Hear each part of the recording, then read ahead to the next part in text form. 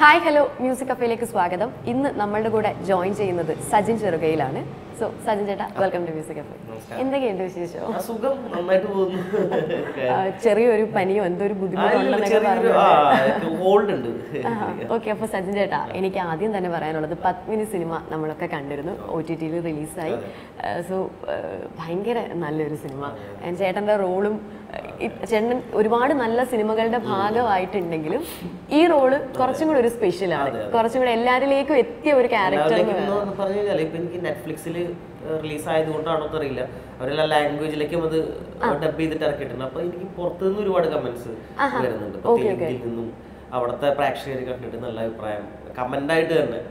Message അല്ല എന്റെ ഫോട്ടോയുടെ അടിയിലൊക്കെ പോയിട്ട് കമന്റ് ആയിട്ട് തന്നെ അവർ ഇടുന്നുണ്ട്. ഭയങ്കര സന്തോഷം. അപ്പോൾ അങ്ങനെ കമന്റ് ഇട്ടു എന്ന് പറഞ്ഞുകൊണ്ട് ഞാൻ ചോദിക്കാം. അപ്പൊ ഇങ്ങനെ ഭയങ്കര ഓർത്തിരിക്കുന്ന ഒരു കമന്റ് ഭയങ്കര ഓർത്തിരിക്കുന്ന കമന്റ് ഈ അടുത്ത് ഒരു പെൺകുട്ടി തെലുങ്ക് കണ്ടു എന്ന് പറഞ്ഞിട്ട് പുള്ളിക്കാരി ആ പോത്തുപോലെ ഉറങ്ങാൻ. എന്ന് പറയുന്നതിന്റെ തെലുങ്ക് ഡയലോഗ് എഴുതിയിട്ടുണ്ടായിരുന്നു എന്റെ ഫോട്ടോയുടെ അടിയിൽ രാജീരം മാട്രസ് പോത്തുപോലെ ഉറങ്ങാൻ തെലുങ്ക്. അതൊക്കെ ഭയങ്കര സന്തോഷവും കൗതുകവും തോന്നുന്ന കാര്യങ്ങളാണ്. സജിൻ ചേട്ടൻ സ്ക്രിപ്റ്റ് റൈറ്റിംഗും ഉണ്ടല്ലോ. അപ്പൊ ഈ രാരീരം എന്നുള്ള പേരിനകത്ത് ചേട്ടന്റെ പല കോൺട്രിബ്യൂഷൻ ഉണ്ടായിരുന്നു? ദീപു പ്രദീപിന്റെ ഒരുപക്ഷെ ദീപുവിന്റെ സ്ക്രിപ്റ്റുകളൊക്കെ പലതും. എല്ലാം ഇപ്പൊ എനിക്ക് തോന്നുന്നു പത്മിനി ഒന്നും അങ്ങനെയല്ല തോന്നുന്നു. ദീപു ബ്ലോഗർ ആയിരുന്നു. ദീപുവിന്റെ ബ്ലോഗ് ഭയങ്കര പ്രശസ്തമായിരുന്നു. അത് ഒരുപാട് ഷോർട്ട് ഫിലിമുകളായിട്ടുണ്ട് ദീപുവിന്റെ കുറെ ബ്ലോഗുകൾ ചേർന്നിട്ടാണ് കുഞ്ഞിരാമായണം ഉണ്ടാക്കിയിട്ടുള്ളത്. ഇതിലെ പല എലമെന്റ്സും ദീപുവിന്റെ സ്ക്രിപ്റ്റുകളിൽ കാണും. അപ്പോ ദീപുവിന്റെ ദീപുവിന്റെ കാര്യങ്ങളാണ് പരിപാടിയാണ് ഈ രാജീരം പോലുള്ള കൗതുകരമായിട്ടുള്ള കാര്യങ്ങൾ. പോത്തുപോലെ ഉറങ്ങാം. ഇതൊക്കെ അവന്റെ സ്റ്റൈലാണ് ചേട്ടാ ചേട്ടൻ സ്ക്രിപ്റ്റ് റൈറ്റിംഗ് ചെയ്യുന്നത് കൊണ്ട് ഇപ്പോ ആ, പത്മിനി സിനിമ ഫോർ എക്സാമ്പിൾ ഇപ്പോൾ പത്മിനി സിനിമയിലെ ക്യാരക്ടർ ചേട്ടൻ എക്സ്പ്ലെയിൻ ചെയ്ത് തരുമ്പോൾ സ്ക്രിപ്റ്റ് റൈറ്റിംഗ് നമ്മൾ ചെയ്യുന്നതാണല്ലോ. അപ്പൊ നമുക്ക് ഇങ്ങനെ ഒരു ഐഡിയ കിട്ടും. ഇത് ക്ലിക്ക് ആവുമായിരിക്കാം അല്ലെങ്കിൽ ഈ ക്യാരക്ടർ ആ ഒന്ന് ആൾക്കാരിലേക്ക് എത്തുമായിരിക്കാം എന്നൊന്ന് അങ്ങനെ തോന്നുമോ പ- ഇതിന്റെ ഉറപ്പായിട്ട് ഉറപ്പായിട്ടും നമുക്ക് തോന്നുമല്ലോ സ്വാഭാവികമായിട്ടും പത്മിനിയുടെ ക്യാരക്ടറിന്റെ പ്രാധാന്യം നമുക്ക് മനസ്സിലാവും അപ്പൊ ആ ഒരു രീതിയിൽ അത് ഫണ്ണിയാണ് അപ്പൊ ആ ഒരു രീതിയിൽ പടം മൊത്തത്തിൽ ശ്രദ്ധിക്കപ്പെട്ട് കഴിഞ്ഞാൽ ഈ ക്യാരക്ടർ എന്തായാലും ശ്രദ്ധിക്കപ്പെടും എന്നുള്ള ഒരു ഇത്. അതല്ലാതെ ഒരു സാധാരണ ഒരു ക്യാരക്ടർ ചെയ്യുമ്പോൾ നമുക്ക് ഉറപ്പൊന്നുമില്ല. ഈ പടം ഹിറ്റ് അടിച്ചാൽ പോലും ഈ ക്യാരക്ടർ കയറി ഷൈൻ ചെയ്യുമെന്ന് യാതൊരു ഉറപ്പില്ല അങ്ങനത്തെ. പക്ഷെ പത്മിനി ഉറപ്പായിട്ടും അങ്ങനെ തോന്നിയിരുന്നു. പത്മിനി ഭയങ്കര ഫണ്ണിയാണ് അതിലെ കാര്യങ്ങൾ അത് ഇത്തിരി കോമിക്കലാണ് സംഭവങ്ങൾ പക്ഷെ ഏറി കയറാനും അത് മതി. അതായത് ഇത്തിരി ഓവറായി പോയി കഴിഞ്ഞു കാരണം ഇത്തിരി ഇത്തിരി ഓവറാക്കിയിട്ട് ചെയ്യുന്ന ഒരു- പരിപാടിയുടെ ക്യാരിക്കേച്ചർ സ്വഭാവമുണ്ട്. ആൾക്കാരെ സംബന്ധിച്ച് ചിലപ്പോൾ അത് വെറുത്തു പോകാനും മതി. നമുക്ക് ഇതിലൊരു റിസ്ക് ഉണ്ട്. ഇത്രയും വലിയൊരു ക്യാരക്ടർ ചെയ്യുന്നത് കൊണ്ട് തന്നെ അതിലെപ്പോഴും ഒരു റിസ്ക് ഉണ്ട്. ആ ഒരു ടെൻഷൻ എനിക്ക് ഉണ്ടായിരുന്നു റിലീസൊക്കെ ആവുന്നത്. പക്ഷെ റിലീസ് ആയപ്പോൾ ഓക്കെ ആൾക്കാരൊക്കെ നല്ല അഭിപ്രായങ്ങൾ പറഞ്ഞു. ഭയങ്കര സന്തോഷം.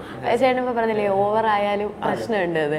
അപ്പൊ ഈ പത്മിനി അല്ല ഞാനിങ്ങനെ എന്തെങ്കിലും ചോദിക്കുമ്പോഴേ ചേട്ടൻ വൻ സീരിയസ് ആവും? അല്ല അത്രയും സീരിയസ് ആയിട്ടല്ല ഞാൻ വെറുതെ? ചോദിക്കാം. ചേട്ടന്റെ ഫേസ് ഞാൻ ഇങ്ങനെ ഇങ്ങോട്ട് ചോദിച്ചു വരുമ്പോ ഞാനെന്തോ വൻ സാധനമായിരിക്കും ചോദിക്കാം. പിന്നെ ശ്രീജി ഭയങ്കര പ്രതീക്ഷിക്കുന്നത് ഞാൻ ഭയങ്കര പുസ്തകമൊക്കെ വായിക്കുന്ന ആളാണെന്നല്ല മനസ്സിലാകുന്നത്. PhD ഒക്കെ ചെയ്യാൻ പോകല്ലേ ഉറപ്പായിട്ട് സീരിയസ് ചോദ്യങ്ങളാണ് പ്രതീക്ഷിക്കുന്നത് അതിലിട്ട് ഇതൊന്ന് കട്ട് ചെയ്തിട്ടേക്കണേ? അതിലിട്ട് ഒന്ന് കട്ട് ചെയ്തിട്ടേക്കണേ. ഓക്കെ അപ്പൊ ഞാൻ ചോദിക്കാൻ പോകുന്നത് ചേട്ടാ അപ്പൊ ചേട്ടൻ പറഞ്ഞില്ലേ ചിലപ്പോ കുറച്ച് ഓവർ ആവുമായിരിക്കാം എന്നൊരു ഒരു ടെൻഷൻ അല്ല നമ്മളത് അത്രയ്ക്ക് ശ്രദ്ധിച്ച് ട്രീറ്റ് ചെയ്യേണ്ട ഒരു ക്യാരക്ടറാണ് ഓവറാണ് ഒന്ന് ആലോചിച്ചു ഇങ്ങനെ പോത്തുപോലെ ഉറങ്ങാം എന്നൊക്കെ ക്യാപ്ഷൻ കൊടുക്കുന്ന പരസ്യത്തിലൊക്കെ ഇങ്ങനെയുള്ള ആൾക്കാരാണല്ലോ. അയാൾ ഭയങ്കര ഇത്തിരി ഓവറായിട്ടുള്ള ക്യാരക്ടറാണ്. അത് ഇത്തിരി ഇത്തിരി ഡോസ് കൂട്ടിയാലാണ് അത് കറക്റ്റായിട്ട് ഫണ്ണി ആവുന്നത്. പക്ഷെ നമുക്ക് ഉറപ്പില്ലല്ലോ. നമ്മൾ എന്തൊരു തമാശ പറഞ്ഞാലും അത് വർക്കൗട്ട് ആവണമെന്ന് യാതൊരു നിർബന്ധമില്ല ഒരു സാധാരണ ഒരാൾ തമാശ പറയുന്നതും എന്നിട്ട് അത് വർക്കായി ആവാതെ പോകുന്നതും ഇത്തിരി ഓവറാക്കിയിട്ട് ചെയ്തിട്ട് അത് വർക്കാവാതെ പോകുന്നതും തമ്മിൽ വ്യത്യാസമുണ്ട്. അത് വെറുപ്പിക്കലായി മാറും. ഇത്തിരി ഓവറാക്കി കഴിഞ്ഞ ഡോസ് കൂടിയിട്ട് അത് വർക്കായില്ലെങ്കിൽ ഭയങ്കര പ്രശ്നമാണ്. അപ്പൊ അതിന്റെ ഒരു സ്ട്രെസ് നമുക്ക് എന്തായാലും വേണമല്ലോ. ആർട്ടിസ്റ്റ് അതാണ് ഞാൻ ഉദ്ദേശിച്ചത്. അല്ല ചേട്ടാ അപ്പൊ ഞാൻ ചോദിച്ചത് അപ്പൊ ഏതെങ്കിലും സീൻ ചേട്ടൻ കുറച്ച് ബുദ്ധിമുട്ടിയായിരുന്നു? അതായത് കുറച്ച് നമ്പർ ഓഫ് ടേക്സ് ഒക്കെ പോയ സീൻ ഞാൻ നമ്പർ ഓഫ് ടേക്സ് പോയ സീൻ ശരിക്കും ഏതാണെന്ന് വെച്ച് കഴിഞ്ഞാൽ ആ ബെഡ്റൂമിൽ ചാക്കോച്ചനും അപർണയും കൂടി നിൽക്കുമ്പോൾ ഞാൻ കയറി വന്ന് ബാംഗ്ലൂർ ഇവിടെ ചെന്നൈ പോയിട്ടുള്ള ആ. ഈ സീനിന്റെ വേറൊന്നും ആയിരുന്നില്ല പ്രശ്നം. ഈ സീനിന്റെ പ്രശ്നം അവിടെ ചാക്കോച്ചനും അപർണയും ഉള്ള സീനാണ്. ഇവർ ഇവർക്കൊന്നും ചെയ്യാനില്ല. ഞാൻ ഇന്ന് പെർഫോം ചെയ്തുകൊണ്ടിരിക്കുകയാണ്. ആ സീൻ പെർട്ടിക്കുലർ സീനിൽ ഇരിക്കാണ് ഡയലോഗ് കൂടുതൽ അപ്പൊ അതിന്റെ ഒരു ടെൻഷൻ ഉണ്ടായിരുന്നു. പലപ്പോഴും എനിക്ക് അപ്പൊ ഇവരിങ്ങനെ പോസ്റ്റ് അടിച്ച് നിൽക്കുകയാണല്ലോ. ടേക്ക് എല്ലാത്തിനും പോയിട്ടുണ്ട്. പക്ഷെ ഇതിൽ ടേക്ക് പോകുന്നതോറും എനിക്കൊരു ഭയങ്കര ടെൻഷൻ ഉണ്ടായിരുന്നു. പില്ലോ എടുത്തോണ്ട് പോകുന്ന എനിക്കിത് ടേക്ക് പോകുന്നതോറും ഞാൻ ഇവരെ പോസ്റ്റ് ആക്കുകയാണല്ലോ എന്നുള്ള ഒരു ടെൻഷൻ പക്ഷെ ചാക്കോച്ചൻ ഭയങ്കര സപ്പോർട്ടീവ് ആയിരുന്നു. ഞാൻ ഇരുപത്തഞ്ച് ടൈം ഒക്കെ പോകാറുള്ളതാണ്. ധൈര്യമായിട്ട് ചെയ്തു. എന്നുള്ള അങ്ങനെയായിരുന്നു. ടേക്കൊക്കെ ഇതിൽ സെന്ന ഹെഗ്ഡെ ഇതിന്റെ ഡയറക്ടർ ഇപ്പൊ തിങ്കളാഴ്ച നിശ്ചയം പുള്ളിയായിരുന്നു. ടേക്ക് പോവാൻ ഒരു തൈയും കാണിക്കാത്ത സംവിധായകനാണ്. എത്ര ടേക്ക് വേണമെങ്കിലും ഇരുപതും ഇരുപത്തഞ്ചും ടേക്ക് ഈസി ആയിട്ട് പുള്ളിക്ക് തൃപ്തിയാവുന്നവരെ പുള്ളി അത് പോയിക്കൊണ്ടേയിരിക്കുന്ന ഒരു സാധനം. ടേക്ക് പോകുന്ന ഒരു വിഷയമല്ല. സത്യം പറഞ്ഞു. ഈ സജിൻ ചേട്ടന്റെ ഒരു ഫിലിമോഗ്രഫി നമ്മൾ എടുക്കുകയാണെങ്കിൽ സജിൻ ചേട്ടൻ ഇതുവരെ അഭിനയിച്ച സിനിമകൾ എന്ന് പറയുമ്പോൾ നല്ല സിനിമകളുടെ അതായത് നല്ല സംവിധായകരുടെ നല്ല സിനിമകളുടെ ചിലപ്പോൾ ചെറിയൊരു വേഷമായിരിക്കാം. പക്ഷെ എന്നാൽ പോലും നല്ല സിനിമകളുടെ നല്ല സംവിധായകരുടെ കൂടെ വർക്ക് ചെയ്യാൻ പറ്റിയിട്ടുണ്ട്. ഇതുവരെയുള്ള സിനിമകൾ എടുക്കുമ്പോൾ. അപ്പോൾ അത് എങ്ങനെ സൗഹൃദത്തിലൂടെ എത്തുന്നതാണോ? എങ്ങനെ അതിലേക്ക് എത്തി- എത്തിയത്? ഭൂരിഭാഗവും ഈ സൗഹൃദത്തിലൂടെ എത്തുന്നതാണെന്ന് പറയാം. ഏതെങ്കിലുമൊക്കെ ഒരു എൻഡിൽ അതിലൊരു സൗഹൃദത്തിന്റെ ഒരു സമയം ഞാൻ എന്റെ ഒരു ഫിലിമോഗ്രഫി മനസ്സിലാക്കി നോക്കിക്കഴിഞ്ഞാൽ വളരെ ചെറിയ സിനിമകൾ എന്നാൽ മലയാള സിനിമയുടെ ചരിത്രത്തിന്റെ ഭാഗമായാണ് എന്ന് പറയാവുന്ന സിനിമകളുടെ ഭാഗമാവാൻ എനിക്ക് സാധിച്ചിട്ടുണ്ട്. ഇപ്പൊ തണ്ണീർമത്തം ദിനങ്ങളായാലും ഏഹ്, തിങ്കളാഴ്ച നിശ്ചയം പോലുള്ള സിനിമകളൊക്കെ അങ്ങനെയാണ്. ഇപ്പോൾ ആദ്യത്തെ സിനിമ ലില്ലി എന്ന് പറയുന്ന സിനിമയായിരുന്നു. അത് ഈ ഫോർ എന്റർടൈൻമെന്റ് ആയിരുന്നു അത് പ്രൊഡ്യൂസ് ചെയ്തത്. അവരാദ്യമായിട്ട് പുതുമുഖങ്ങളെയൊക്കെ വെച്ച് ചെയ്യുന്ന ഒരു സിനിമയായിരുന്നു. അപ്പോൾ പക്ഷെ ഇതൊന്നും സൗഹൃദത്തിന്റെ പുറത്തെന്ന് പറയുമ്പോൾ ഞാൻ സൗഹൃദത്തിന്റെ പുറത്ത് ഞാൻ ചാൻസ് ചോദിച്ചിട്ട് പോയിട്ട് എനിക്ക് കിട്ടിയിരിക്കുന്ന സിനിമകളല്ല. ഇപ്പോൾ ലില്ലിയൊക്കെ എന്റെ എന്റെ ഒരു ഷോർട്ട് ഫിലിം കണ്ടിട്ട് പ്രശോഭ് ഇങ്ങോട്ട് വിളിക്കായിരുന്നു അതിന്റെ ഡയറക്ടർ ഒന്ന് ഓഡിഷൻ അറ്റൻഡ് ചെയ്യാമോ എന്ന് ചോദിക്കായിരുന്നു. ഗിരീഷ് എന്റെ സുഹൃത്താണ്. അപ്പൊ അവന്റെ ഷോർട്ട് ഫിലിംസ് ഒക്കെ ചെയ്യുമ്പോൾ ഞാനതിൽ അഭിനയിച്ചിട്ടുണ്ട്. അവൻ തണ്ണീർമത്തിനെടുത്തപ്പോൾ അവനെ എനിക്ക് ഒരു റോൾ ഇങ്ങോട്ട് ഓഫർ ചെയ്തു. പിന്നീട് എനിക്ക് തോന്നുന്നു തിങ്കളാഴ്ച നിശ്ചയത്തിലേക്ക് വരുമ്പോൾ അതിലൊരു ചെറിയ വില്ലൻ ക്യാരക്ടർ അതെ അതെ. അതിന് സിനിമാറ്റോഗ്രാഫർ ശ്രീരാജന്റെ ഫ്രണ്ട് ആണ്. അപ്പൊ ഇവർ ആ ക്യാരക്ടർ എല്ലാവരും ഈ എന്താ കാസർഗോഡ് ലാംഗ്വേജ് പറയുമ്പോൾ ഒരാൾ ന്യൂട്രൽ ലാംഗ്വേജ് നോർമൽ മലയാളം സംസാരിക്കുക എന്നുള്ളതായിരുന്നു ഇവരുടെ ആദ്യത്തെ പ്ലാൻ പിന്നീട് അവർ തീരുമാനിച്ചു നമുക്കൊരു തൃശ്ശൂർ സ്ലാങ് പിടിക്കാം എന്ന് തീരുമാനിച്ചപ്പോൾ ശ്രീരാജിന് പെട്ടെന്ന് എന്റെ മുഖം ഓർമ്മ വന്നു. അങ്ങനെ അവനാണ് എന്നെ അവിടേക്ക് റെക്കമെൻഡ് ചെയ്യുന്നത്. അങ്ങനെയാണ് ഞാൻ വരുന്നത്. പിന്നെ നമ്മൾ ആ സൗഹൃദത്തിലേക്ക് അവരുടെ ഗാങ്ങിലേക്ക് വരുന്നു. അതിനുശേഷം അവിടെ വെച്ചിട്ടാണ് ഞാൻ സെന്നാഹിന്റെ പരിചയപ്പെടുന്നത്. ആ സെറ്റിന്റെ സെറ്റിൽ വെച്ചിട്ടാണ്. അതിനുശേഷം അദ്ദേഹത്തെ മൂന്ന് സിനിമകളിലും എനിക്ക് ഞാൻ വളരെ പ്രോമിനന്റ് ആയിട്ടുള്ള റോൾ ചെയ്തു. അങ്ങനെയാണ് ഏതെങ്കിലുമൊക്കെ രീതിയിൽ ഒരു സൗഹൃദം ഒരു ഭാഗമാവാറുണ്ട് ശരിക്കും. ഓക്കെ അപ്പോൾ ചേട്ടനെ ഇപ്പോൾ നമ്മളിങ്ങനെ കാണുമ്പോൾ നമുക്കൊരു ഒരു ഫാമിലി നമ്മളുടെ അല്ലെങ്കിൽ ഒരു പേഴ്സൺ നെക്സ്റ്റ് ഡോർ ആ ഒരു ഇമേജ് അല്ലെങ്കിൽ അതേപോലെ കഥാപാത്രങ്ങളായിരിക്കും സിനിമകളിലും വരുമ്പോൾ അപ്പോൾ അതിങ്ങനെ എന്താ പറയുക സൗഹൃദങ്ങളിലൂടെ സിനിമയിലേക്ക് എത്തി എന്ന് പറഞ്ഞല്ലോ. അപ്പോൾ ചിലപ്പോൾ ഈ സ്ക്രിപ്റ്റ് ഒക്കെ കേൾക്കുമ്പോൾ ചേട്ടനായിട്ട് പറഞ്ഞിട്ടുണ്ട് ഇന്ന ക്യാരക്ടർ ഞാൻ ചെയ്തോട്ടെ അല്ലെങ്കിൽ അങ്ങനെ ഒരു ഡിസ്കഷൻ ഉണ്ടായിട്ടുണ്ടോ? ചെയ്തിട്ടുള്ള നമ്മുടെ വളരെ അടുത്ത സുഹൃത്തുക്കളുടെ സിനിമകളിലൊക്കെ അങ്ങനെ ചെയ്തിട്ടുണ്ട്. ഇപ്പോൾ പൂവൻ എന്ന് പറയുന്ന സിനിമയിൽ എന്റെ സുഹൃത്തായിരുന്നു അതിന്റെ സംവിധായകൻ വിനീത് വാസുദേവൻ. അപ്പോൾ അവന്റെ അടുത്ത് ഞാൻ അങ്ങോട്ട് പെപ്പയുടെ അളിയന്റെ ക്യാരക്ടർ ഞാൻ ചെയ്തോട്ടെ എന്ന് ചോദിച്ചിട്ടുണ്ടായിരുന്നു. പക്ഷെ എന്താ പ്രശ്നം എന്ന് വെച്ച് കഴിഞ്ഞാൽ അത് അവന് താല്പര്യം ഉണ്ടായിരുന്നു തരാനായിട്ട്. പക്ഷെ ഞാൻ അതിന് തൊട്ട് നമ്മുടെ സൂപ്പർ ശരണ്യയിലും ഒരു അളിയൻ അഭിലാഷ് അളിയൻ എന്നുള്ളൊരു ക്യാരക്ടറാണ് ചെയ്തിട്ടുണ്ടായിരുന്നത്. അപ്പോൾ അത് ഞാൻ നമ്മളുടെ ടീം തന്നെ സിനിമ എടുക്കുമ്പോൾ അതിൽ സ്ഥിരം ടീമിന്റെ അളിയനായി വരണ്ട അവന് താല്പര്യം അങ്ങനെ വേറൊരു കഥാപാത്രമാണ് ഞാൻ ചെയ്തത്. ഓക്കെ. സൂപ്പർ ശരണ്യയുടെ കാര്യം പറഞ്ഞപ്പോഴാണ്.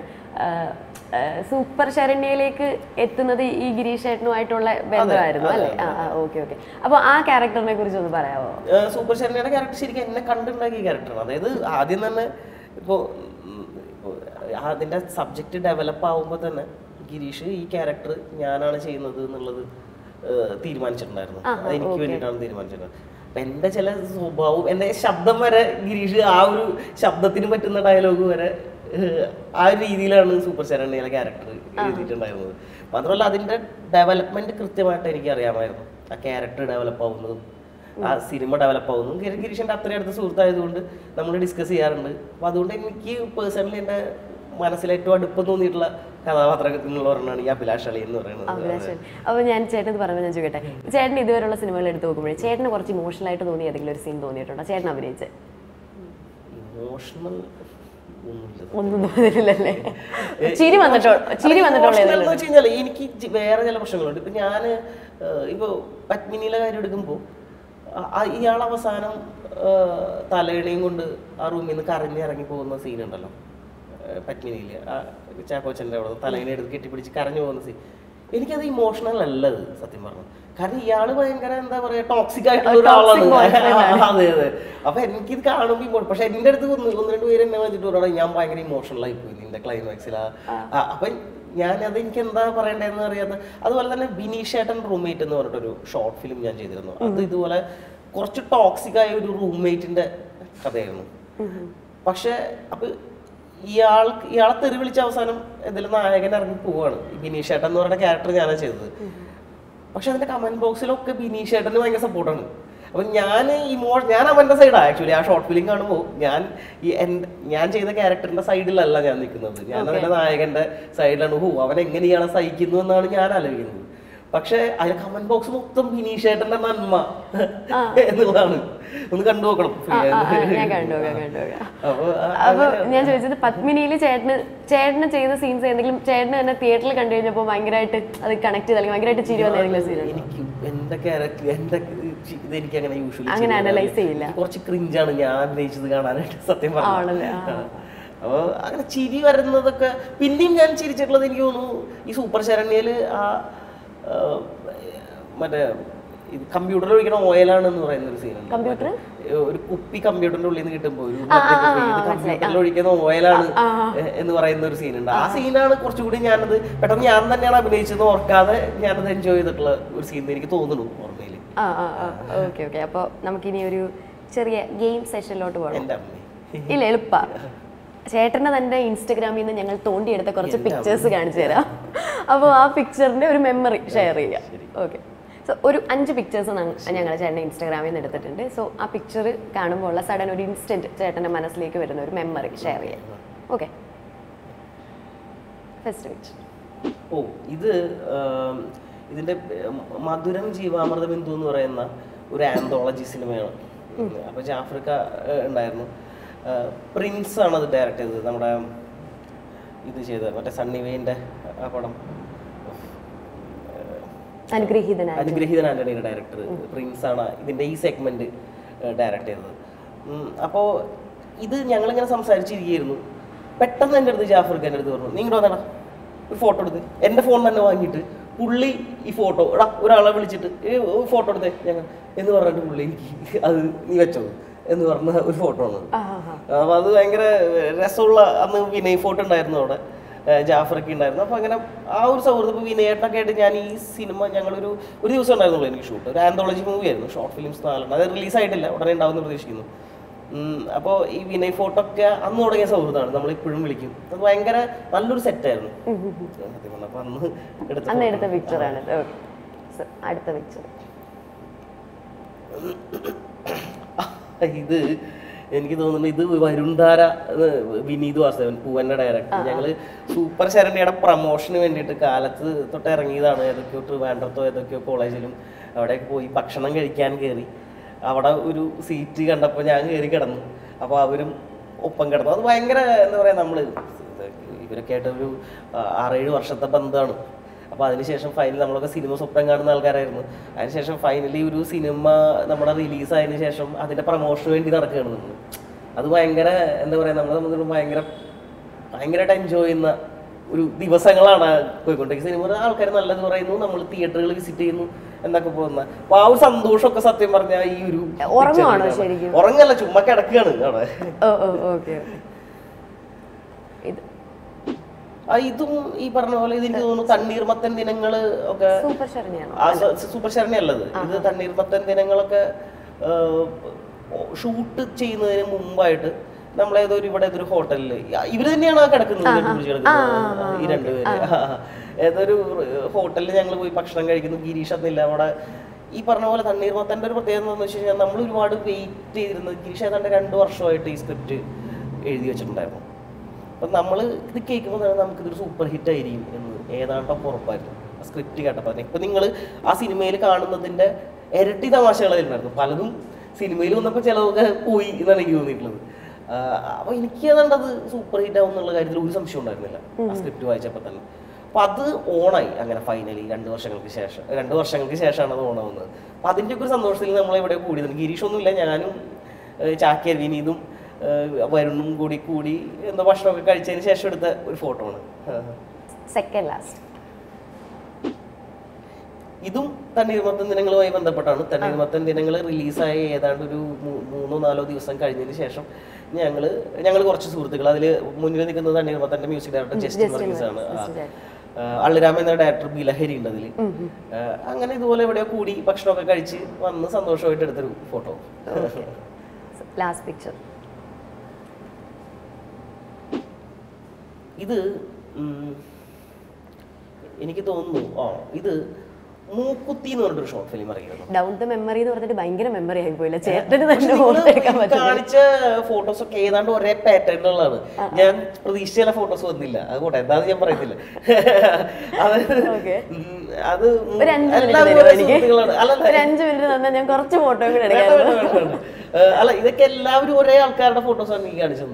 ഏതാണ്ട് ഒരേ ആൾക്കാരുമായിട്ട് നിൽക്കുന്ന ആഫ്രിക്ക ഒഴിച്ചു നിർത്തി കഴിഞ്ഞാൽ ഏതാണ്ട് ഒരേ ടീമാണ്. അപ്പൊ ഇത് മൂക്കുത്തി എന്ന് പറഞ്ഞൊരു ഷോർട്ട് ഫിലിം ഇറങ്ങിയത് അതായത് മൂക്കുത്തി പറഞ്ഞ പോലെ ഈ തണ്ണീർമത്തന്റെ ഡയറക്ടർ ഗിരീഷിന്റെ തന്നെ ഷോർട്ട് ഫിലിം ആയിരുന്നു. ഗിരീഷ് വിശുദ്ധ അംബ്രോസ എന്ന് പറഞ്ഞിട്ടൊരു ഷോർട്ട് ഫിലിം ചെയ്തിട്ടുണ്ടായിരുന്നു. പിന്നെ എനിക്കറിയാം ഇത് കാണുന്നതിൽ പലരും അത് കണ്ടിട്ടുണ്ടാവും. കാണാത്തവരത് കാണണം. അത് മലയാളത്തിലെ ഏറ്റവും നല്ല ഷോർട്ട് ഫിലിമുകളിൽ ഒരെണ്ണമാണ് വിശുദ്ധ അംബ്രോസ്. ഒരു സംശയവുമില്ല. ചെറിയ കുട്ടികളെ വെച്ച് എടുത്തത്. പക്ഷെ നമ്മളത് പ്രതീക്ഷിച്ച അത്ര ക്ലിക്കായില്ല യൂട്യൂബിൽ വലിയ വ്യൂ ഒന്നും ഉണ്ടായില്ല. പക്ഷെ ഭയങ്കര അഭിപ്രായമായിരുന്നു. മലയാളത്തിലെ ഏറ്റവും മികച്ച ഷോർട്ട് ഫിലിം എന്ന് ഒരുപാട് പേര് പറഞ്ഞ ആ സമയത്ത് പറഞ്ഞ ഷോർട്ട് ഫിലിമായിരുന്നു പിന്നീട് അപ്പം നമുക്ക് നമ്മൾ മനസ്സിലാക്കുന്നത് യൂട്യൂബിൽ ഒരു സക്സസ് ഉണ്ടാവണമെന്നുണ്ടെങ്കിൽ കുറച്ച് പ്രണയം വേണം. ആണ്. കുറെ കുട്ടികളെ വെച്ചിട്ടാണ് ഈ വിശുദ്ധ അംബ്രോസെ ചെയ്തിരുന്നത്. അപ്പം അങ്ങനെ നമ്മൾ മൂക്കുത്തി എന്ന് പറയുന്ന ഒരു ഷോർട്ട് ഫിലിം എടുക്കും നമ്മൾ ഉദ്ദേശിച്ച പോലെ അത് സക്സസ് ആവുന്നു. ഭയങ്കരമായിട്ട് വൈറലായി ആ സമയത്ത്. അപ്പോൾ ആ ഒരു സമയത്ത് എനിക്ക് തോന്നുന്നു ബിലഹരി ബിലഹരിയുടെ അനിയത്തിയാണ് ആ നിൽക്കുന്നത് ശ്രീരഞ്ജിനി തണ്ണീർ പത്തം ദിനങ്ങളിൽ വിനീത് ശ്രീനിവാസന നായികയുടെ അഭിനയിച്ച അതായത് അള്ളിരാമേന്ദ്രന്റെ ഡയറക്ടർ അനിയത്തിയാണ് അപ്പോൾ ഇവരുടെ വീടിന്റെ അടുത്തൊരു അമ്പലത്തിലെ ഒരു ഉത്സവത്തിന് ശേഷം ആ ഒരു സക്സസ് മുൻകുത്തിയുടെ ആ ഒരു സക്സസിന് ശേഷം അവിടെ നമ്മൾ ഒത്തുകൂടി എടുത്ത പിക്ചർ അല്ലേ ഓക്കെ. സോ കഴിഞ്ഞു. നമ്മുടെ ഡൗൺ ദ മെമ്മറി ലൈൻ കഴിഞ്ഞു. എന്റെ ബ്രില്യൻസ് എനിക്ക് അങ്ങോട്ട് പുറത്തെടുക്കാൻ പറ്റില്ല ഈ റൗണ്ടിൽ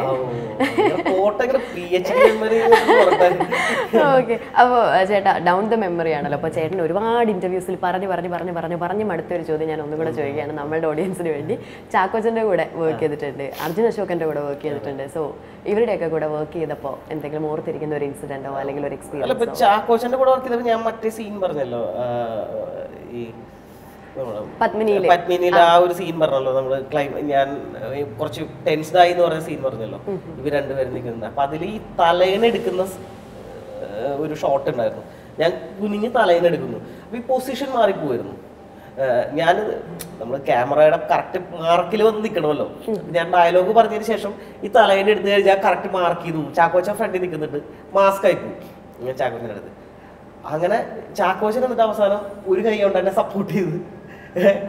ഒരു കൈ പുള്ളിക്ക് ഇത്ര എക്സ്പീരിയൻസ് ഉള്ളതുകൊണ്ട് പുള്ളി കൃത്യമായിട്ട് അറിയാം. കറക്റ്റ് ഞാൻ മാർക്ക് ചെയ്ത് തോന്നുന്നു പുള്ളി ഇങ്ങനെയാണ് നിൽക്കുന്നത്. ക്യാമറ എവിടെയാണ് പുള്ളി ഒരു കൈ കൊണ്ട് കറക്റ്റ് സപ്പോർട്ട് ചെയ്ത് എന്നെ ഭയങ്കരമായിട്ട് സപ്പോർട്ട് ചെയ്തിരുന്നു. ആ ഒരു അവിടെ കറക്റ്റ് പൊസിഷനിൽ വന്ന് നിൽക്കാൻ വേണ്ടിയിട്ട്.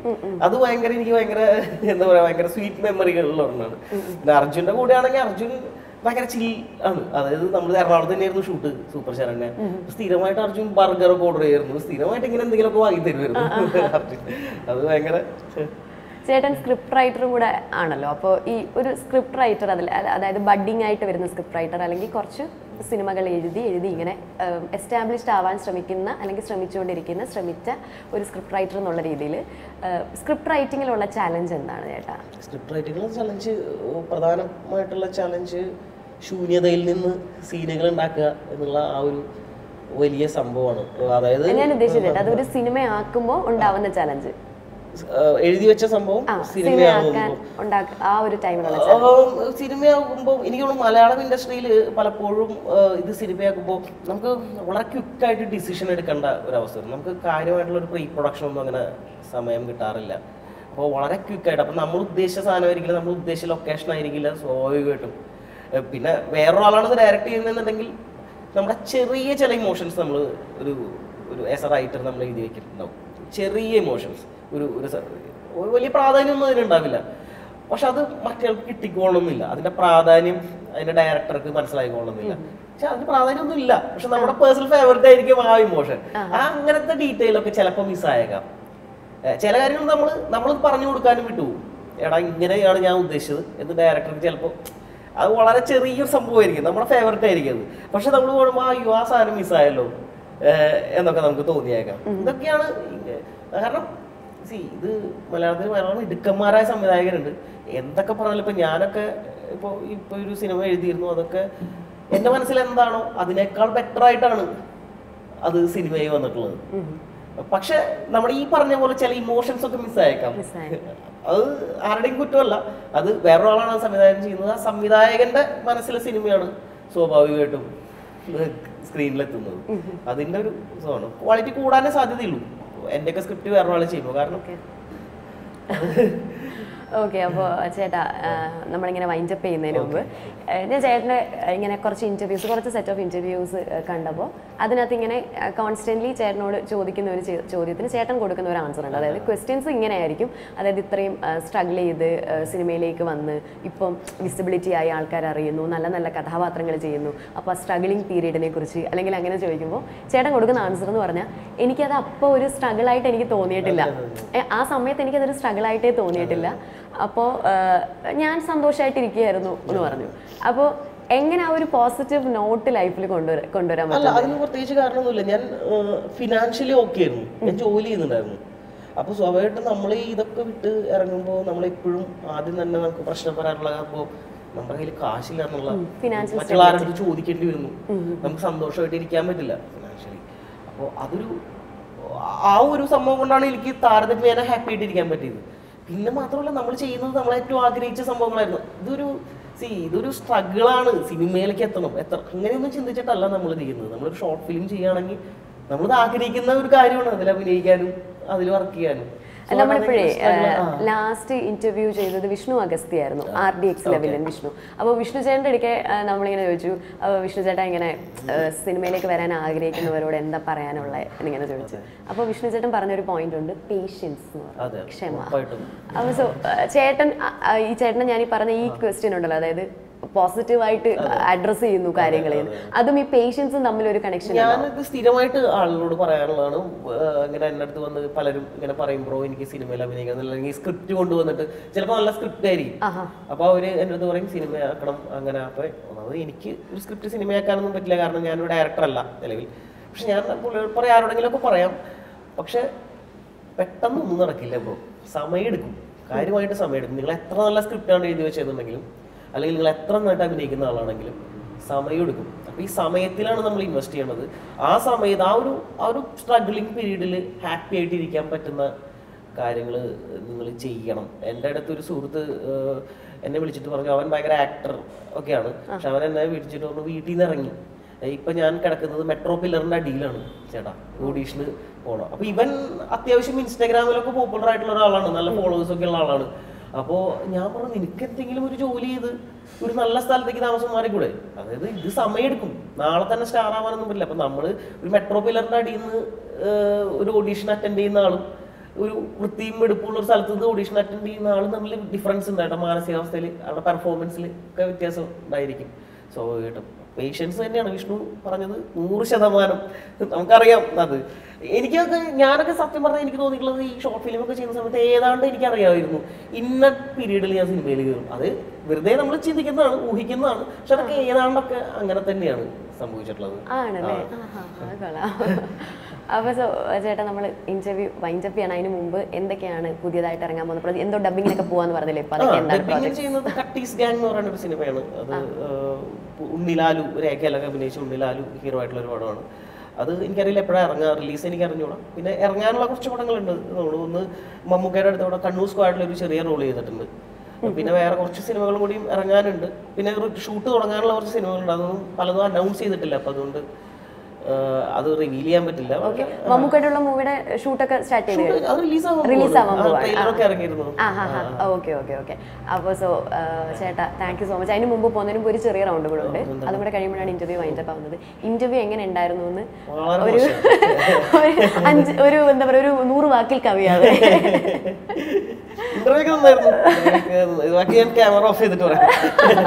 ഓക്കെ ചേട്ടാ. Thank you so much thank you so much